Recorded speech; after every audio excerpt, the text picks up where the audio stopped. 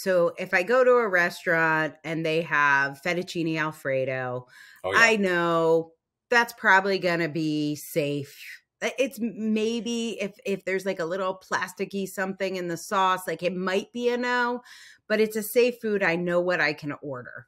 There are foods that are safe and there are foods that are unsafe. I'm not just like being picky. It's not happening. Welcome to the Autistic Culture Podcast. Each episode, we dive deep into autistic contributions to society and culture by introducing you to some of the world's most famous and successful autistics in history. Before we get started, a quick disclaimer on how we use the word autistic. The purpose of this show is not to diagnose the people or characters we discuss as autistic. While some may have announced being autistic, what we're sharing here is our observation of what is representative of autistic culture. It can sometimes be difficult for autistic people to celebrate our natural tendencies and traits due to the perception of autism as a disorder that needs to be fixed, a long history of damaging medical interventions to try and get us to fit in with mainstream culture, and protective masking skills many of us have developed to try to stay safe. Whether you are autistic or just love someone who is, your hosts, Dr. Angela Lauria, the linguistic autistic, and licensed psychological practitioner Matt Lowry welcome you to take this time to be fully immersed in the language values, traditions, norms, and identity of Autistica. Autistica. Episode 21 Dino Nuggets are autistic. I'm very much looking forward to this episode. I like this. well, I'm Matt, excited. well, Matt, you say that uh in autistic life it's about friends family and fictional characters. Do dino nuggets count as a fictional character? Uh, well they count as two f's friends and food. There we go. Um dino nuggets are definitely my friend. And today matt you and i are going to be talking about autistic food culture. Oh yes i look forward to this so Italians have their cannolis, the French have their croissants, British people have chicken tikka, uh, which okay, that's Indian culture, but it is the official English national dish, chicken tikka masala.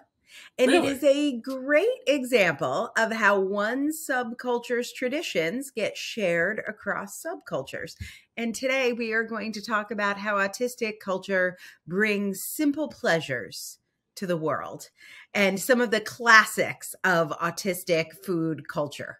So, um, before we dive into the material I have prepared for you today, would you like to share any of your favorite foods?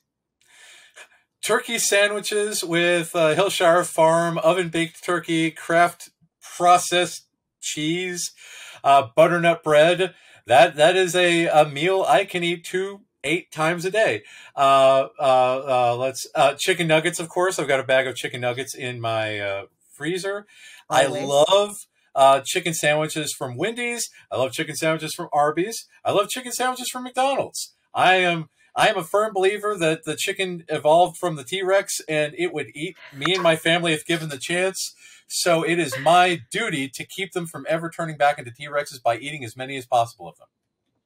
I I'm that sounds very scientific. We believe very, in science here. In very show. sciencey. well, you've already tipped on one thing I wanted to talk about today, and that is how brands are really important to us. And not I mean it could be a store brand. It's not about like the I'm going to show a bougie brand right now. If you're watching the video, I'm holding up my Fiji water. Um, so uh, a lot of people of all brain types talk about oh it's hard to get your water in. I always had trouble drinking water until i found fiji water. And now i just buy a case of fiji water a week. I have no trouble drinking water but it must be fiji water. So i always have it in my car. I have it anywhere. It is the only water i can drink. Water tastes so different to me. Water from a tap water poured at the restaurant, water from Deer Park. It's not for me. Deer Park, that's not good water for me. Um, it tastes plasticky. It tastes very plasticky to me. So, yeah. and like you mentioned, I forget the first one that you said. It was a certain kind. Was it? Was oh, it um, the turkey or the? Yeah, the you named yeah. the brand yeah. right yeah, off Hillshire the Farm. Hillshire yeah. Farm. It's weird. Other people say I want a turkey sandwich. You're like I want a Hillshire Farms chick uh, turkey sandwich. Yeah, uh, anything else is completely inedible. I can't do that. Right. So it's not like I like turkey, but Hillshire Farms. Like there you go. Yeah. Um, there was a TikTok that I watched uh, preparing for this episode, and the guy was talking about how he eats ground turkey, but it has to be Butterball 93.7. So not just Butterball, but 93% lean, 7% fat. Interesting and, uh, ratio. Yeah, I know. I was like, very, it's not like hyper lean by any means. Butterball 93.7. So there's probably not every store that's going to carry your Butterball 93.7 uh, ground meat, but you are going to find that store and commit. And um, I, first of all, just think it is so, I, like, so clear the difference between I don't know 93 versus 98 whatever the more common options are or Hillshire Farms versus whatever they have at Subway um those different certainly for me eh, Deer Park versus Fiji like one is completely un not an option undrinkable. Yes. And one I can drink all day. I drink all day. I just drink. Fiji water all day and like I know it's maybe there are issues, plastic water bottle. I got I got all the messages, but I also know I would like to drink water. So, yeah. um, I, so I cannot that. I cannot drink water unless it's uh, filtered through my pure water filters, and I've got four water filters, so I will never ever be without water ever. Because right. uh, I was once without water, and I was like, "Oh my god!" It was during the pandemic, and I couldn't just run out because my son wouldn't wear a mask. So I went with I had to drink tap water, and I was horrified. So now I have four water filters with fresh filters all the time so I've always got a steady source of water as if it's a mountain stream just sitting there. Yes, right here. Amazon yeah. subscribe and save. Thank exactly. very much. Oh yes. Made for autistic people. I've yes. got I got Fiji water, I got my dance cookies, I got all the all the subscribe and saves you could ever want. There is a uh, specific cookie that I will not mention because I don't want it to ever run out. That my oh. son, that is my son's favorite cookie of all time. He will not eat any other cookie but this cookie. So uh, I order cases of this cookie so he will always have his cookies. Right. Cases. It's important. When yes. my when my kid was a baby, there were these crackers that had just come out. They're kind of like a rice cracker. They're like crispy, but they also sort of melt or dissolve in your mouth. They're they're Ooh. called mum mums, something like that. Oh. And um, I don't think my kid even like them, but I ended up buying cases of the mum mums, pretending they were for my baby. They were really all for me. I would always have them in the diaper bag. Those are my mum mums, like oh, baby oh, yeah. food. Yes, please. Exactly. This is the way. Mm. So I just want to say all autistic people are not the same. There are definitely Italians who don't eat cannolis, and I'm sure there are French people who hate croissants. What is wrong with them? I'm not sure. Um, plenty of autistic people who feel the opposite of what we are going to explore with autistic culture today. And that is a part of um, the hyper-connected brain. So it often goes the opposite way. So, Matt, I'm going to give you a little quote here oh, to oh, yes. read with us. Oh, that's a good one. Other autistic people, including me, add to the astringency, pungency, or acidity of their food, often doubling or tripling the amount of garlic, onions, or chilies in a dish. Jonathan Katz in Flavors of Diaspora. Yeah. Okay. Yeah, there's really no human limit to the amount of garlic that one can consume in one setting because I've tried.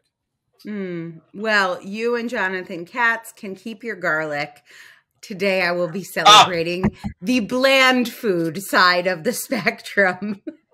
um the, but it is really important to understand this like when we talk about autistic culture nothing we talk about applies to every single person just like in any culture, subculture, everyone does not like all the same thing. We are not monoliths. Um, and so don't send us hate mail. I And I there's a- it. There's a lot of autistic people who stim through food and seek out new flavors and new textures because that's how they stim.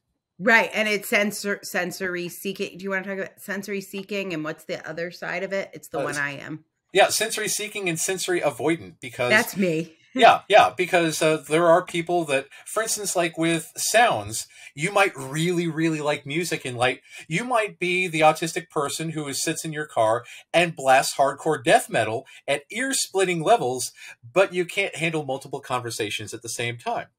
So there, like that, there are also people who can't stand the, you know, to not have that kind of water, but really, really need to taste all kinds of new different foods. Uh, Right. There might be a time when you you need a safe food because you say, "Oh well, the snails just didn't work out, and I can't eat anything else, so I need my safe food." Right. And we are going to talk about safe foods today for sure.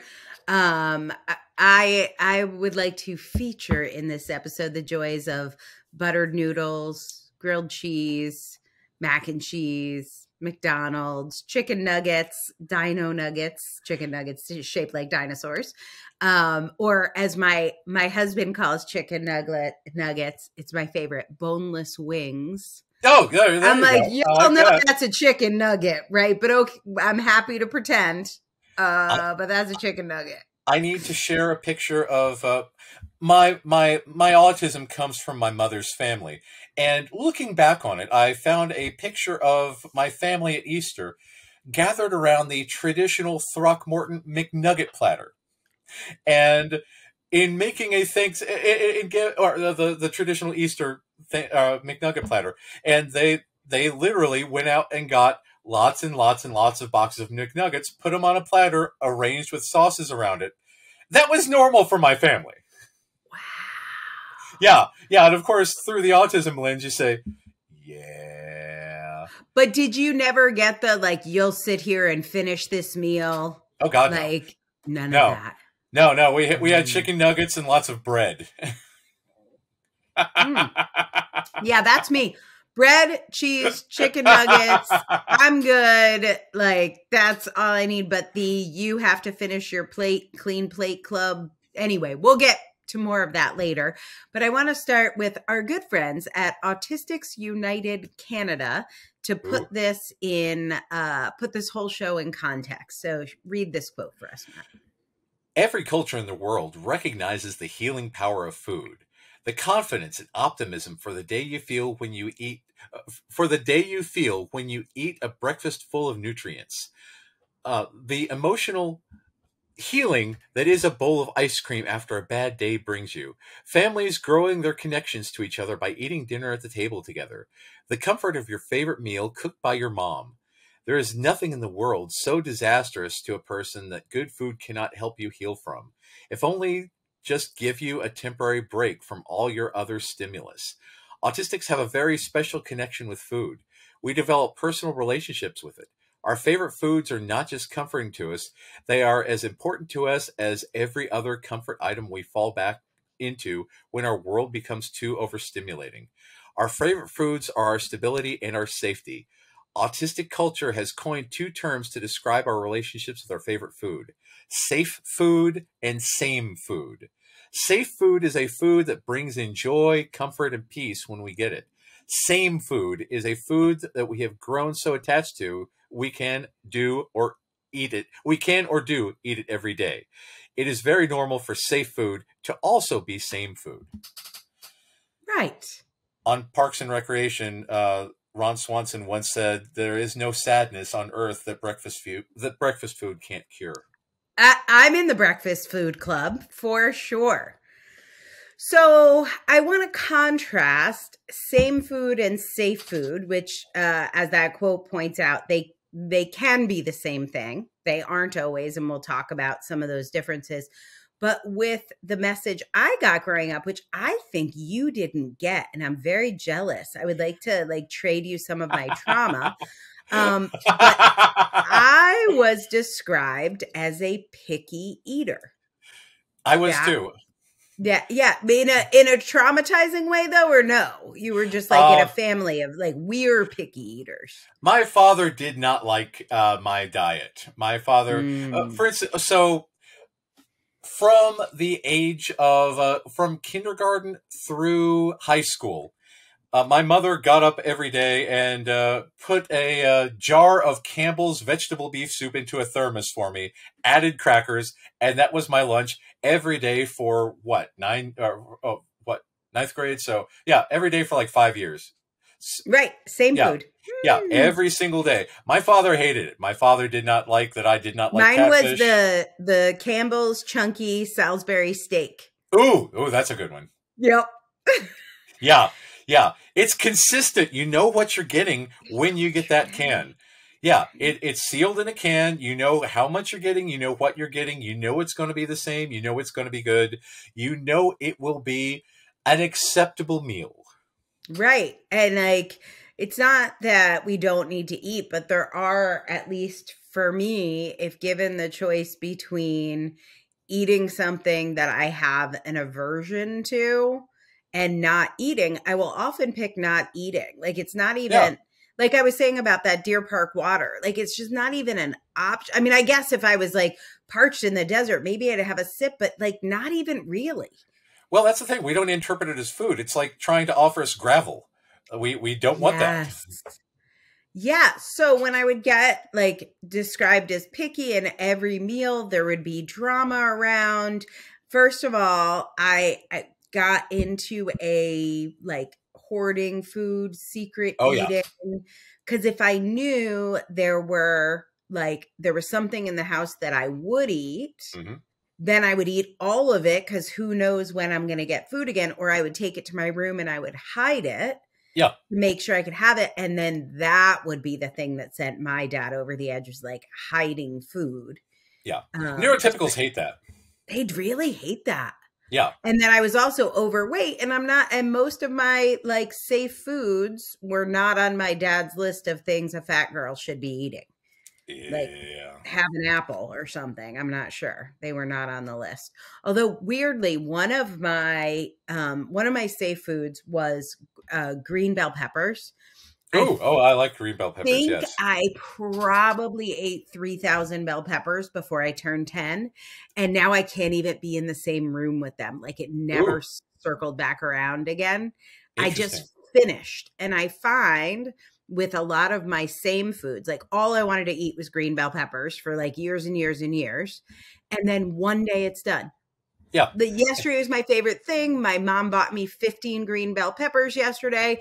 Today I wake up, it's over. We have completed the green bell pepper cycle. And my mom's like, Why are you wasting these bell peppers?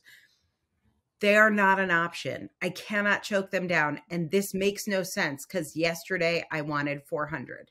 Yeah, yeah, because you you got your fill, and it took four hundred of them to fill. But yeah, that's that's the way it is. Okay, we're going to take a quick break. We'll be right back. We love sharing stories of autistic culture. And if you are seeing yourself in any of these stories, and you're wondering if maybe you're one of us, or maybe you're already diagnosed or self diagnosed, and you want to know if Matt can help you live your life better and be more authentically autistic, check out his website at mattlowrylpp.com.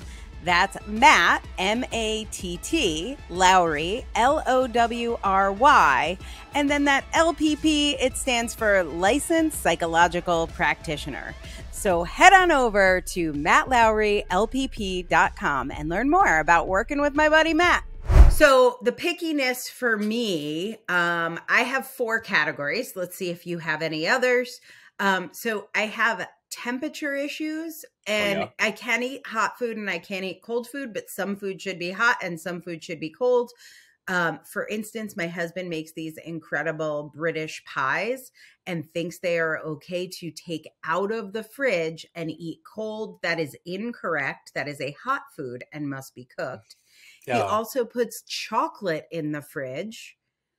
And that Why? is not where chocolate goes. He always wants his chocolate frozen because it something snaps. Yeah, but it's that's not the texture of chocolate. It's it needs to be. wrong. Yeah, hmm It's not okay with me. So if I have the exact same food that I love, but it is at the wrong temperature, hard pass. Yeah, yeah. Um, I, am gonna. Oh, I have two. Ah, they're all so good. Okay, the next one is Ah! Yes. Texture, my friend. Texture. Absolutely. I don't care if you made oysters out of chocolate. It's just never happening. I do Nope. not want slimy food. No, no, I will not do slimy. I have been asked to do slimy. I, it will not happen. Nope. Not even for our anniversary. Not even if you love me. If I love you, if you made it for me. There are certain textures that are not happening. I have a little issue with the gelatinous substance in a tomato, Yeah, yeah. whatever that little. Yeah, I don't know what it's called, but I definitely know because it's awkward. nope not for me not gonna Yeah. happen uh flavors so i mentioned that i am not a sensory seeker so i am very committed to anything beige if it is beige it is safe i will do a banana I will do mashed potatoes. Give me vanilla ice cream. Bring on the beige foods. My standard statement is cornflakes are the spiciest food I will ever need. I, I am totally in the Samwise Gamgee uh, category when it comes to potatoes. I will eat any and all forms of potato because that that is the way to go. I'll I'll sit and eat a raw potato like an apple. Oh, that I haven't done, but I'm open to it. I, Oh yeah, I- yeah. It's got a great crisp texture to But it. I've, I'm sensing the crunch in my mind right now. Um, and Matt, I talked about the aversion on textures, but we as a culture have introduced a lot of crunch to this planet, my friend. Yes, yes. We are a pro crunch culture. I so Alton Brown did this uh, series called Good Eats for years and years and years, and I was unaware of the joys of the sandwich until he started talking about how you can layer on these different textures and combine these because if you have like a different texture of bread and cheese and sauce and like lettuce or whatever, because if you have these multiple different layers in the right way, if you put them on the wrong way, it's sensory hell. But if you put them on the right way, it's a a a a, a, a, symphony of textures, not Mm. just flavors, but of textures. And oh my God, that's the way. And this is why I only cook fried chicken the way that I do, because you you get it in a certain way with a certain crispness of the coating. And you, if you don't do that, I can't eat it. Uh, I, right. I can't eat Chick Fil A. I, I Chick Fil A is flaccid. I can't do Chick Fil A. I Well, can't deal with the luckily, we don't want to give them our money anyway. So Exactly. That works out Yeah. perfectly. Yeah. Give your money to McDonald's. I'm sure they're very nice people there. Yeah, exactly. Yeah. so, um, okay, my last category. So we've talked about flavor, we've talked about texture, temperature. I'm gonna add social justice issues. in Oh yes. Oh yeah. That's that's a great segue from uh, you know the, the the people who hate everyone. Mhm, Yeah, yes, yeah, the people. yeah. the- yeah, Chick Fil A and yeah. Yes. So, but maybe maybe I'm averse to Chick Fil A because they hate everyone. But um, but meat in general. I was a vegetarian from 1990 to 2008, and I still won't cook meat. And there's very selective meat I will have. And honestly, even with chicken nuggets, if given the option between fake chicken McNuggets and real ones, I will just default to the fake ones. If I think about meat at all, so like I can't be in the kitchen really when it's being cooked. I could like be in the room, but I can't be like hovering over it. I definitely am not touching meat. That is not what's going to happen. Um, I mean, I'll cu- touch it after it's cooked, but like raw meat, not happening. Yeah, yeah. I'm, I'm not gonna. I'm not gonna touch it, especially if it's in animal form. I'll, I'll go Right. for. I'll go for an Impossible Whopper. Those things are actually really good. They Mm. taste like real Whoppers. Yes, and also a little hat tip to Starbucks, the Impossible Breakfast Sandwich at Starbucks. So good. It's like a sausage affair, sausage, egg, and cheese, but with impossible sausage. I like that. Big fan. I also like an Impossible Whopper. I am with you on that. oh, absolutely. So, uh, so those are my four categories that um, that cause uh, that cause uh, autistic food culture to create some very interesting uh, experiences in the world. Sabrina is a moderator moderator of a Tumblr called Autism Asks, and this is what she said when when answering the question, "Why are autistic people so unique about their food choices?" I'm not sure if we have an answer for why we do this. However, in my experience, same fooding is very different from picky eating. Picky eating is about what you won't eat. For autistic people, this is often related to sensory sensitivities or to taste or texture. Same fooding, on the other hand, is closer to a special interest. When I have the same food, chocolate ice cream currently, I really, really want that food. I can eat that food endlessly and not get tired of it. I will get upset if I'm not able to have the food in a day. For me, it is usually the kind of routine based as well. For instance, with my current same food, I have some in the evenings and it's become part of how I wind down for my day. Another way to think of it is like craving a craving that just keeps happening. Sabrina, moderator of Autism Asks Tumblr. So I read this and I was like, oh, that's very interesting because safe foods for me are foods I'll eat. So if I go to a restaurant and they have fettuccine alfredo, oh, yeah. I know that's probably going to be safe. It's maybe if if there's like a little plasticky something in the sauce, like it might be a no, but it's a safe food. I know what I can order. Grilled yeah. cheese, you know, like a chicken sandwich at a fast food restaurant. So when I go out, there's safe foods. Same foods have a comfort factor to them, a routine factor to them. They're doing something slightly different. My right now, my same right now, right now for the last three years, my same food is um Safeway brand uh, ice cream sandwiches. Oh, oh and yeah.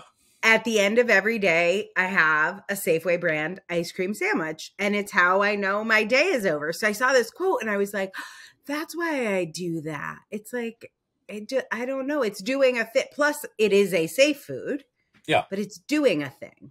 Yeah, uh, I, have got baked ruffles currently, and I have to. Uh, my son also likes the baked ruffles, so I buy them by the case so that we always have baked ruffles around because that's that after a busy day that's what I want to shove in my face because it, it's got the salt, it's got the texture, it doesn't have the grease because I can't do the grease. So yeah, it it. I do bake perfectly. too. I'm a baked lays person. Oh yeah, yeah. There you go. I feel you on the ruffle. I'm cool with the ruffles. Yeah, yeah. Um. So I thought this was a cool way to look at safe foods versus same foods, mm-hmm. and then also looking at the idea of picky, which yes. is like turning my nose up at something as opposed to it's just not on the table. There are foods that are safe and there are foods that are unsafe. I'm not just like being picky. It's not happening. Well, isn't that like an evolutionary thing? Because you know there are some things that if we ate it, we would die. Uh, that that seems like an evolutionary advantage to me to be a picky eater, so you don't accidentally eat poison. Yes, and there is a similar thing on, you know, how I was talking about how I was like hyper focused on bell peppers and then I was done? Yes.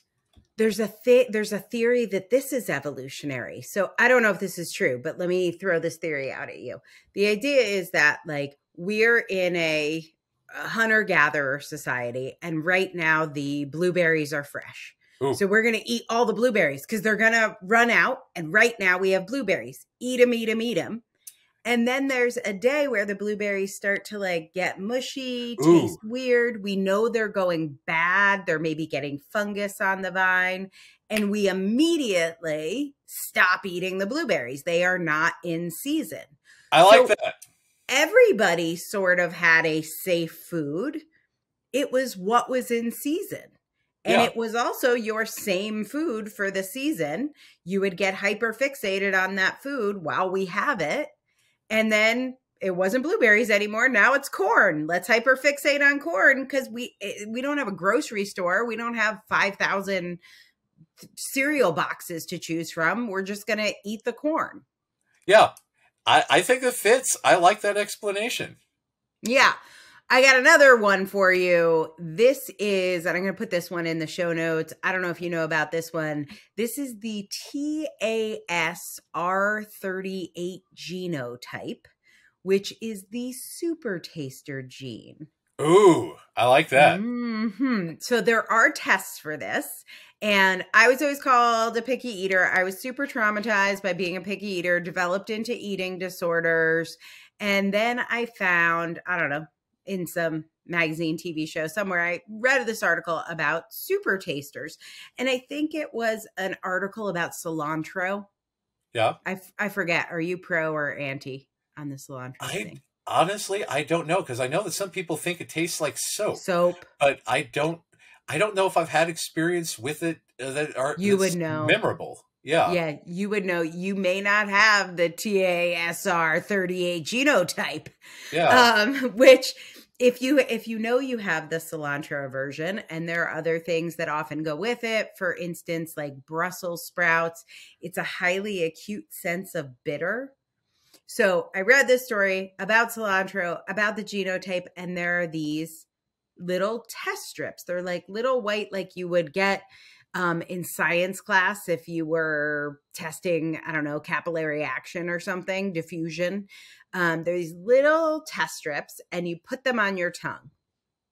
And my partner at the time i got the test strips and she was the one who when i did my autism test and i like scored i don't know 80% uh, 86% on the test and i was sure her score would be similar and she was like 5% like not at all autistic we did the same thing with our super taster tests I put one on my tongue for a tenth of a second and it felt like a thousand elves were trying to murder my face with small pickaxes. She couldn't taste anything, put it in her mouth, chewed it, crunched it, sucked it. She was like desperately trying to taste anything and could taste nothing That and then we did it on I like I split a strip, like I gave her two different strips. I'm like, maybe you got one without the solution on it. So we took one strip and split it. Like I tasted her strip and gave it to, like she could nothing, nothing there at all. Wow. And that's It ah, is a totally different experience. And I'm like, what do you experience a hamburger like? yeah.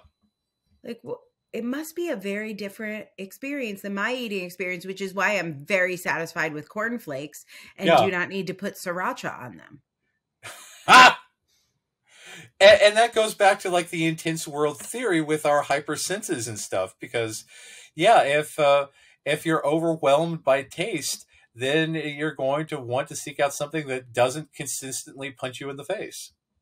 See see how that works Yeah. Is- Yeah, I like that. again science um there's a, a common belief and in fact um this was something Mila and I raised our kids together and her rule for her daughter is when I cook you something you have to finish it and if you don't finish it at dinner you'll stay up until bedtime looking at the plate and then in the morning that will be the only thing you can eat until you eat it. So like you can eventually eat something else but only after you finish this plate.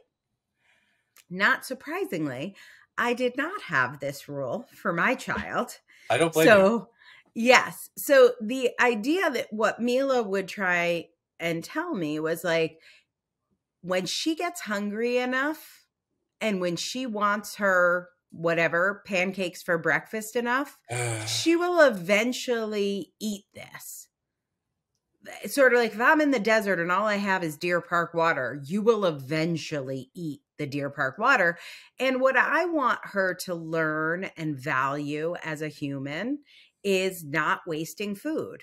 Like food is expensive. We spend a lot of money on this food. I don't want her to think wasting it is an option. And there this is not crazy, I guess but it's like there's also a logic to it. it, it yeah, it's it's logic from a wasteful, but uh, at the same time, if the kid is able to pick their own food, they wouldn't be wasteful by buying bad food. Ha, that's a good point. Yeah. I also think it shows this like misunderstanding about sensory issues because much so. for me those sensory issues wouldn't be gone in the morning Right. like if i didn't want to eat the oysters for dinner i'm not suddenly going to be able to eat them if, if anything, breakfast. it's if, if anything, it's significantly worse because now it's aged twelve hours. yeah I mean, why would I want to eat bad food that's older and colder than it was when I first had it? I don't want that. I'm I I, I will never do that to my kid. Uh, and my son sometimes doesn't realize that he needs to eat. Uh, sometimes the only thing that he will like is a McDonald's Happy Meal. And sometimes he won't put on pants to go get the McDonald's Happy Meal, so we have to DoorDash. And he will say, "McDonald's dude, bring Happy Meal. McDonald's dude, bring Christmas fries. McDonald's dude, bring this." So like, "All right, McDonald's dude, bring this," and he's he eats it, and then like uh, sometimes uh, when he goes for a while without eating, I was like, no, we need to eat dinner. We need to eat lunch. We need to do this. And he doesn't feel hungry. I'll say, do you want a milkshake? And he'll, he's always down for a chocolate milkshake. But I say, well, belly needs food. You need to eat something. So then he'll choose McDonald's Happy Meal or he'll choose chips or he'll choose something. We've got a snack bin with like graham Mhm. crackers and vegetable probably pouches. safe and- foods Exactly. Stuff that he will eat of his own accord that uh, is acceptable. And if he wants a milkshake, he has to eat something because belly needs food, but he can choose what food he wants. And with the pouches, he gets enough vegetables. He gets, uh, you know, graham crackers. He gets protein with the chicken. He gets food. Uh, but uh, yeah, it's. I'm not going to force him to eat liver or Brussels sprouts or nonsense like that because I'm not a monster. Yeah. And we do have very high rate. Obviously, we've talked a lot here about depression and anxiety. Yeah. The- already, these things are making me depressed and anxious.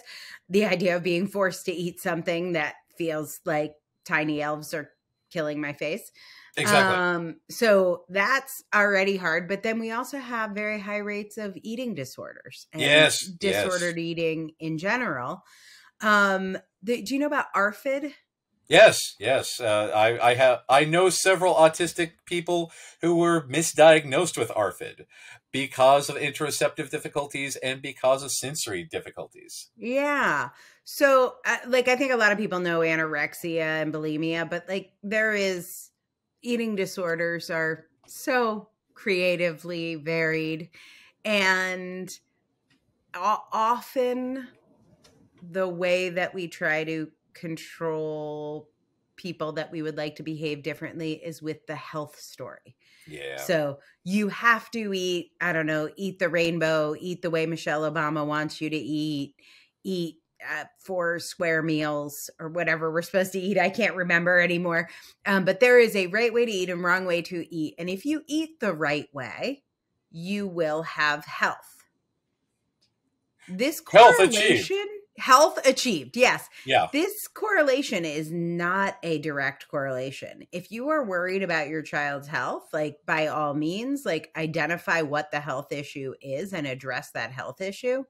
But there is not a direct correlation between what you eat and your health status. There are many, many factors. There are skinny people who my my dad had a partner who was I don't know, 100 pounds, maybe 120 pounds, but she was born with one kidney and drank like a sailor.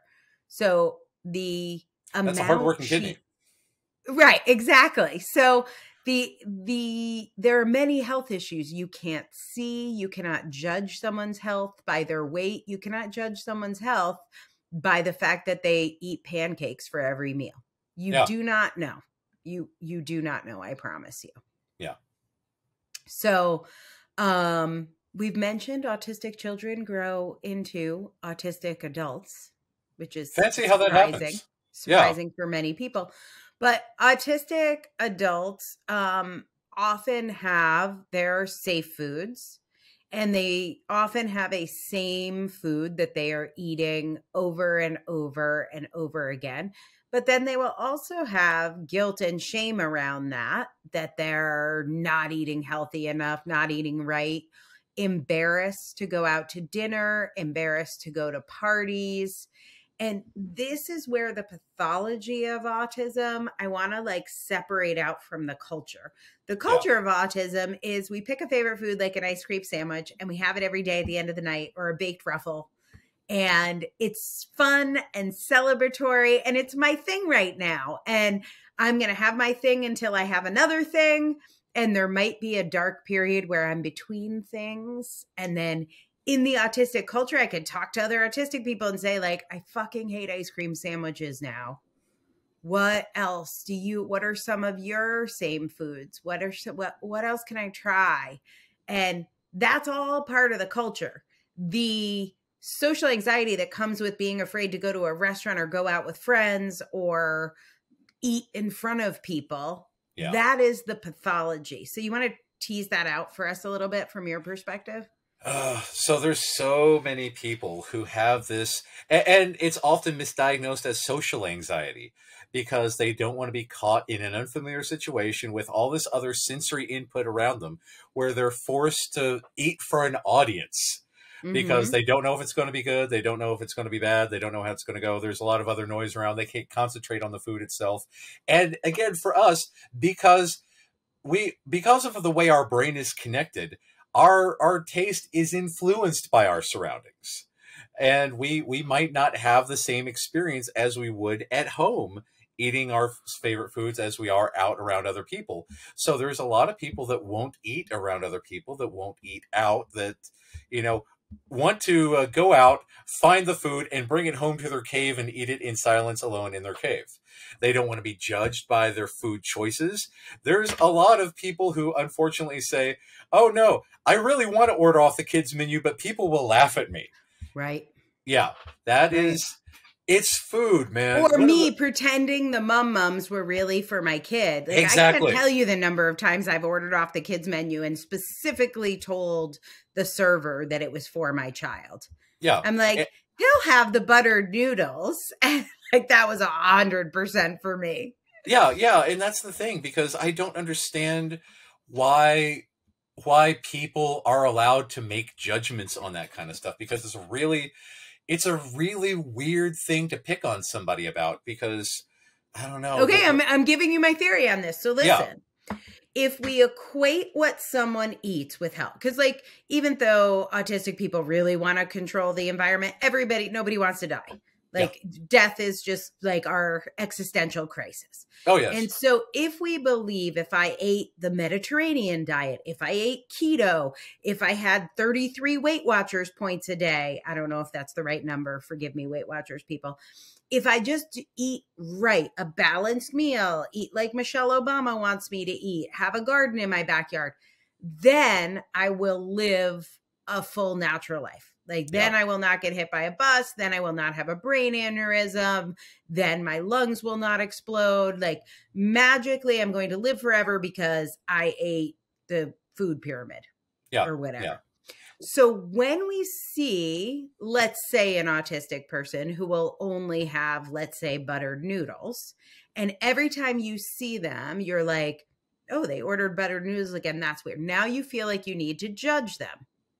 So when you judge them and you're like, I'm concerned about your health, should you have a few vegetables? Maybe we can sneak a little protein in there.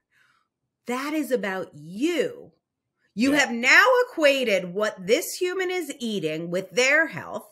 So then you're equating what you eat with your health, and you're like, well, I guess I'm not going to die as soon as Sally is since she's having buttered noodles for every meal.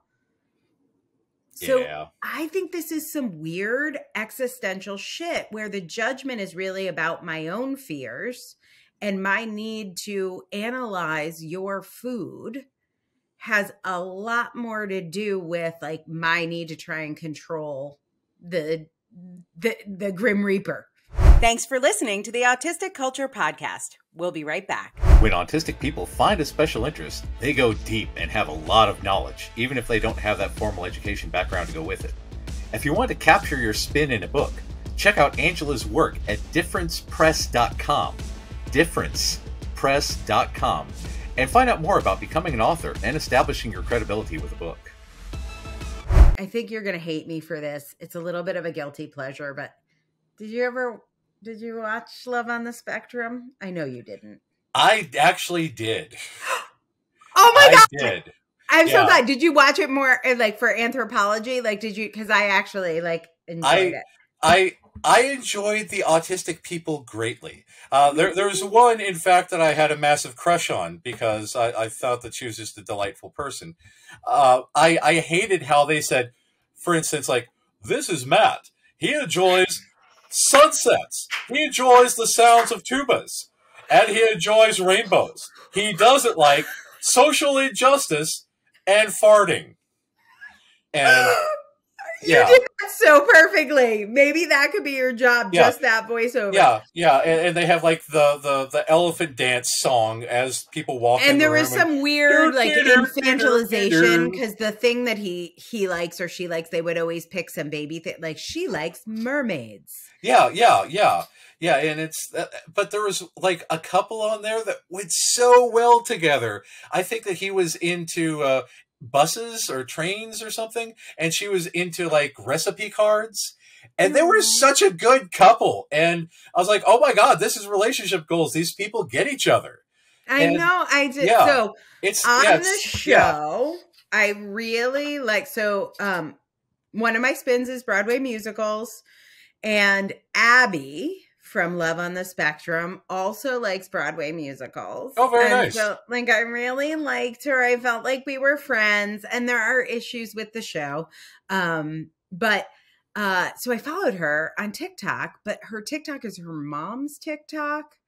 And occasionally it would bother me, but because I liked her and mostly it was like Abby singing The Little Mermaid or some shit, I was like, oh, I'm visiting with my friend. I'm checking my friend's social media until I had to ban Abby and mostly her mother from my social media because of the SpaghettiOs fiasco. There's a So- SpaghettiOs fiasco, you say? Yeah. SpaghettiOs is one of my safe foods, especially with the little hot dogs, not gonna lie. And um, so Abby goes to the grocery store. She tells her mom she wants SpaghettiOs. And her mom says, presumably at the grocery store, that's unhealthy. Like her mom's like, that's unhealthy. You can't have Ugh. SpaghettiOs. It's processed. That's unhealthy. Like the thing we were just talking about. Abby goes home, she makes the SpaghettiOs, and her mother is going to force her to eat the SpaghettiOs. And she is, Abby is crying hysterically, like losing her mind. And her mom's like, You wanted the SpaghettiOs. You're to eat every last SpaghettiO. Have all the SpaghettiOs. And she's going, I can't. They're unhealthy because her mom put the fucking earworm so now she's got her mom's voice repeating in her head, it's unhealthy. So every bite, she feels like she's killing herself. You'll be fine. Eat the fucking SpaghettiOs. I promise you. So, and then her mom films this and puts this on TikTok. Yeah, th- I I cannot stand when allistic parents of autistic chi- children of any age do that weird shit to uh, try to get like have sympathy for me because of my autistic child's tendencies. Look at their tantrum, and That I fucking created. Right, exactly. That is that is inhuman. It was so hard to watch. Yes, very so much hard so. to watch. And the thing is, once you get, and I I remember this for me as a vegetarian um, for you know almost twenty years, eighteen years. It was just in my head. I could see the whole. I saw a thing. I'm not going to tell you because it'll be. I saw a thing. I never wanted to unsee the thing, and every time I was near meat, I had the whole thing. I did the thing. And I could see that in this video with Abby of her, like, it's unhealthy, it's unhealthy, but you have to eat it. But like, I can't. And my mom would be like, you have to have three bites or you can't get up from the table. But it was Ah, three bites of an animal. yeah. Like, it's like, eat, eat a baby. Just to, it's only three bites. Have you ever seen Okja? No. Oh, What's that? Uh, it, it is a sci-fi uh, story about uh, creating an accidentally sentient animal that uh, uh, food creators say is delicious and you should definitely eat them, but uh, then it causes all sorts of ethical concerns because you know Okja is uh, definitely sentient. So yeah, right. it's uh Mm, yeah, it's one of those. It's a big reason why I don't eat pork because I feel sorry for all pigs. yeah, because Charlotte's Web. Yeah, exactly. Yeah, I'm sure that's a okay. Anyway, not down. We're not going to go down No. that rabbit hole. Uh, autistic friend of the pod, Steve Jobs. Um, his we've talked about the Walter Isaacson biography before, uh, but he talked about Steve Jobs and food. So share this with us. In Steve Jobs, a biography written by Walter Isaacson, the author details Jobs' a, quote, occasional tendency to eat only one or two foods, like carrots or apples, for weeks at a time. Allegedly, Jobs also spent some time as a fruitarian, a subset of vegetarian that means eating only fruits, nuts, seeds, vegetables, and grains, absolutely no animal products. Yeah. So Yeah, Yeah, that's how that works. And you know what? You don't need to worry about Steve's health because he's eating carrots any more than you need to worry about Abby's health because she's eating SpaghettiOs. right. You do not know what her health is. You cannot make judgments based on what people eat. It is not, a, our bodies are not vending machines. There Yeah. are many factors. Let people worry about their own health. You worry about yours, Chica. Yeah, minding your own business is free. Excellent. I love it. So, uh, culture in terms of how our food works. If you take out that pathology piece, and we got to live in the land of autistica, like we are right now, um, we have an amazing culture of simplicity with food. Oh, yes. You talked about the bins of snacks that you had or buying cases of baked ruffles. I've got my weekly cases of Fiji water. We get things set up on auto delivery. Our life is pretty easy. Like if you think about how complex food culture is when you there are families that make a different meal every night for a month. Schools. I can't imagine the folks. Yeah, uh, it, it's so much work. It's. Uh, uh, I I frequently say on Futurama they have this thing called Bachelor Chow with all the nutrients that you need. It's essentially cereal. It's Bachelor Chow. Uh, and but that's the thing about the process complexity of cooking every single night and variety of food every single night. That's a lot of work, especially when you have spoons that you know if you've ha- had a long day, if you've had a lot of Mhm. social interaction, if you've had a lot of sensory overload, we can't be shamed into saying we are deficit human beings because we are we are deficient human beings because we are not cooking quote a proper meal. I need one slice of Land O'Lakes cheese on a p- small potato roll. That is my dinner. It is very easy. Y'all should try it. Yeah, I'm just Well- saying, our culture is a culture of simplicity. Christmas, everyone's freaking out. They're cooking for two days. People are fighting. There's too many people in the kitchen. You got a chicken nugget platter. Exactly. When I was in therapy, my therapist once criticized me for eating healthy choice meals because they are processed. And I'm like, well, here's the thing, lady. I'm depressed. I'm anxious. I need food. This is a healthy choice with vegetables and sauce and Mhm. everything. It says It's healthy better- choice right on Yeah, the box. I promise you it's fine. Yeah. Relax. And, and Uh, by the way, very uh very popular among autistic people, lean cuisine white mac and cheese. Oh? God, yes, that's some good stuff. Yes, You're like, I'm on it. I was on it too. yeah, Um, okay, yeah. so we have it. Our food culture is a very simple culture that gives us time to focus on family and friends and fictional characters. exactly. More Well, time much- for our special interests, which Much- is like what lights us up. And by the way, if your special interest is food, go for it. Make your shellac on toast or whatever it is you make. But that's because it's your special interest. So Yeah. we don't have to spend all this time. We can focus on doing more of what we love. Yeah, yeah. Uh, Amy Schumer's husband is autistic, and he's a chef, and he makes all these fantastic meals. And uh, that, if that's your special interest, then your partner eats well. Yep. By the way, a lot of sommeliers are also um, autistic, and they are also super tasters It's part of what makes them great sommeliers. So They there can be, be. can be a crossover here. So, second thing about food culture in autism, when you remove the pathology and stop calling us picky eaters, it is a culture of efficiency. Yes, very much so. A time saver. if you just know you're going to have an egg and cheese on a uh, tortilla wrap, you're just going to have that every morning. Super easy. Less time Yeah. shopping, less time cooking. Um, and we are happy. It's not like a crapshoot. It's like if I've got my safe food 100% of the time, I'm going to be happy, unless it's a hyperfixation food I just finished with. But uh, I'm going to be super happy. You guys, you guys, allistics, you just eat, you don't even know if you're going to like it. Eh, Not That's- super efficient. That's a crapshoot at best, man. I don't I don't get that. Yeah. Um so quiet eating. So a lot of food culture is about going out, going to parties, going to restaurants. And for us, we tend to eat alone and you know, sort of quickly. We're going to have a whatever egg and cheese sandwich. We're going to have buttered noodles. It's not we don't need to spend a hundred dollars and go to a party or go to a restaurant or something like that. And that means for all of you concerned about our health, most when you take out the pathology from autistic food culture, we eat slower, Mhm. we eat what we like, and we're more likely to stop when we're full.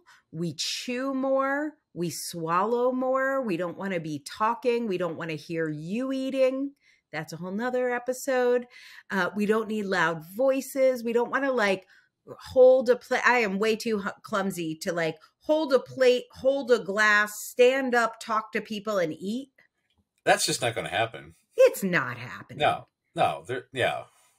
So we have a culture of quiet eating where we're digesting better.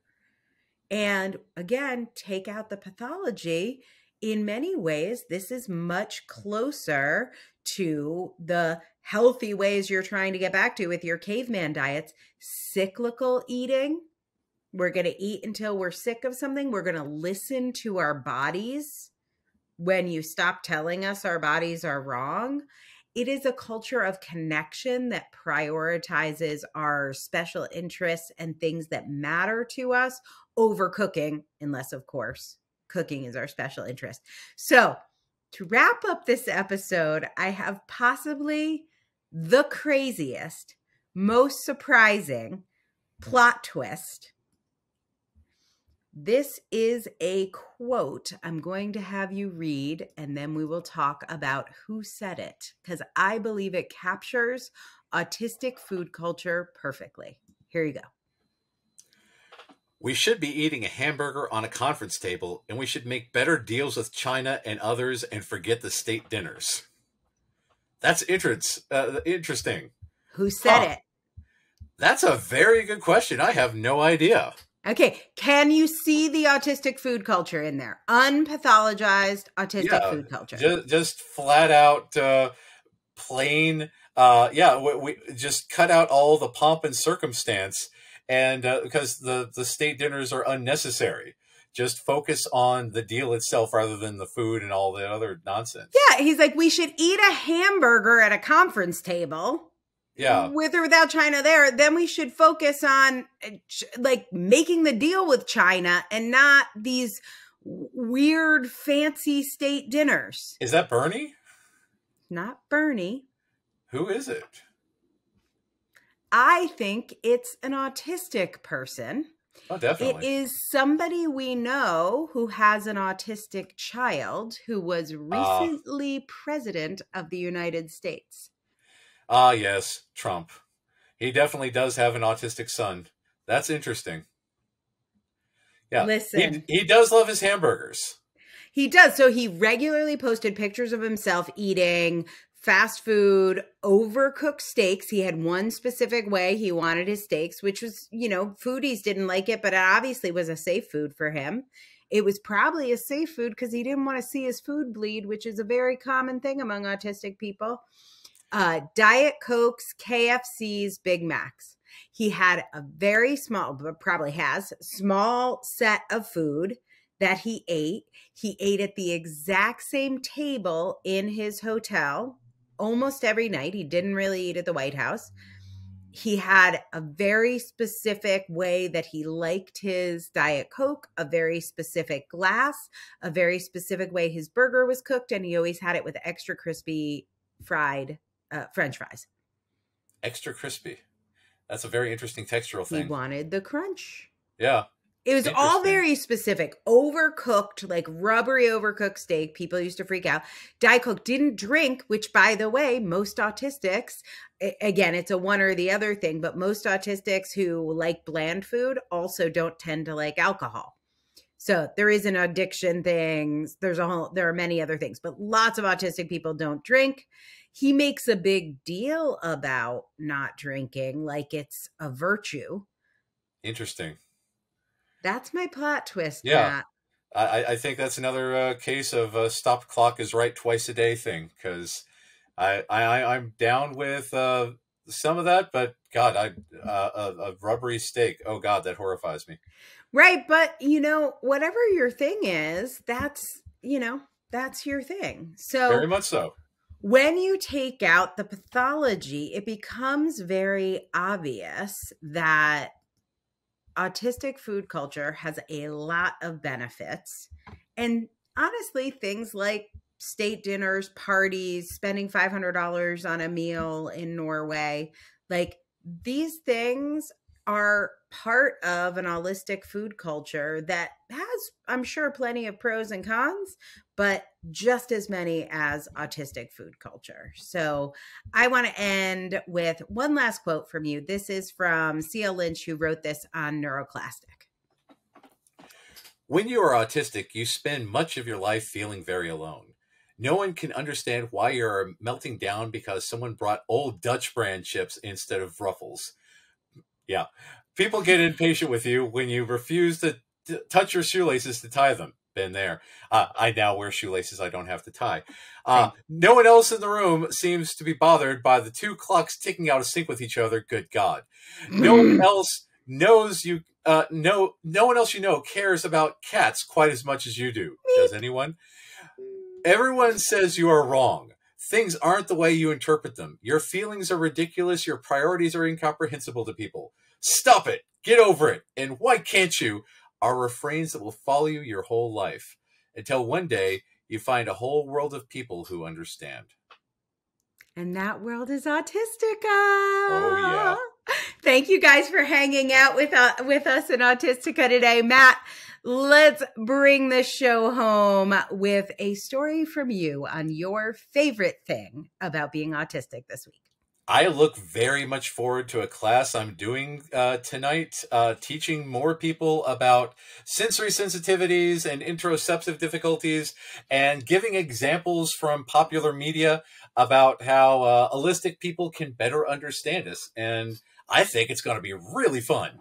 So, uh, yeah, I, if uh, any of you want to join us, at this point you'll have to watch the repeat, but it will be up.